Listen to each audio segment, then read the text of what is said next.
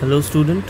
So in this question we have been given that a mass of 2 kg is rushing down the incline sliding